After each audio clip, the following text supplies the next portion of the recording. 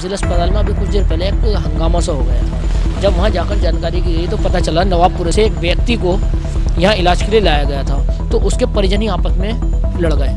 उनसे जानकारी की गई तो पता चला उनके पिताजी को कैंसर है, जिसको लेकर उनका बड़ा बेटा उनसे मिल नहीं रहा। था आज अचानक जब वो अपने पिताजी को तीन भाई हैं, तीन भाई में से एक भाई जब अब मिलने पहुँचा अपने पिताजी से तो बाकी दो भाइयों ने उसका विरोध किया और उनमें इतना झगड़ा हो गया कि अस्पताल में अव्यवस्था फैल गई।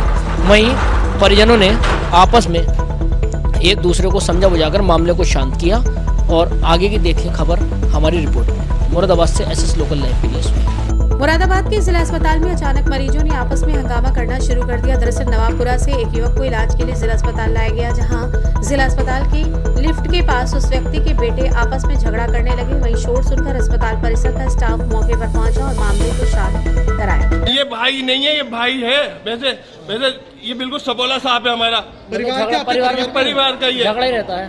झगड़ा रहता है कि मतलब ये देखता नहीं है भाई को। पापा को नहीं देखता किसी को नहीं देखता। मारने के लिए दौड़ता है हम लोगों को।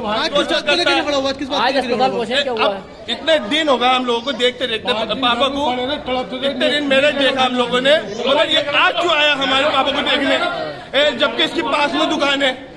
ए, ये दो मिनट का रास्ता है। ये कल भी नहीं आया दूसरा दिन हो गया आज क्यों आया है देखने? तो देर देना है तू हमारे बाप को।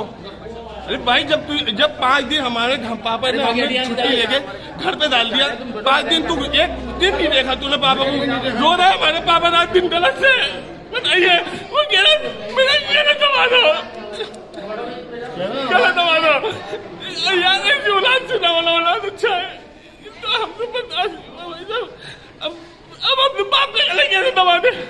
जानकारी करने पर बताया कि नवापुर के रहने वाले जंगूर को कैंसर की बीमारी है जिसको लेकर उसके परिवार वाले उसे जिला अस्पताल लेकर पहुँचे। साथ ही आपको बता दें कि पीड़ित जबूर के तीन बेटे हैं जो आपस में झगड़ा करने लगे हैं इससे अस्पताल में अव्यवस्था फैल गई है। बाप की हालत बिगड़ी तो देखने नहीं आया। ये बारह तेरह दिन मेरठ में एडमिट हो गया अगर तो इनको लिंग कैंसर बताया। ठीक हम छुट्टी ले गए दिल्ली वा, मेरठ वालों ने दिल्ली के लिए रेफर कर दिया। अब ये जानवर समझता लोगों को। एडमिट करा के आके हमारा भाई दो जनों को साथ में ले गया और ने कहा समय कि हम दो दो दिन तक रहेंगे। तीन भाई हैं तीनों दिन दो दो दिन छुट्टी दिया करेंगे ठीक है? ये एक दिन भी झांकने ही नहीं आया मेरठ के अंदर। हम छुट्टी उन्होंने रेफर कर दिया हमें नौ तारीख में। और उनतीस तारीख में हमने एडमिट किया। फ़िलहाल मामले को शांत करा दिया गया है।